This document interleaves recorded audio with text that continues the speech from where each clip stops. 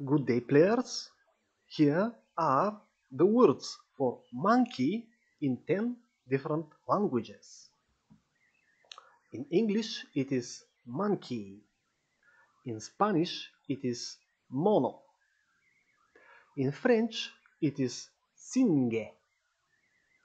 In German it is affe.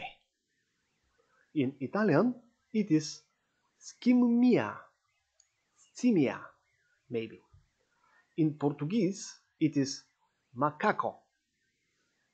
In Bulgarian it is maimuna. In Chinese it is houzi. Houzi. In Japanese it is saru. In Korean it is wongseongi. Wongseongi. Or something like that. 10 more words next time.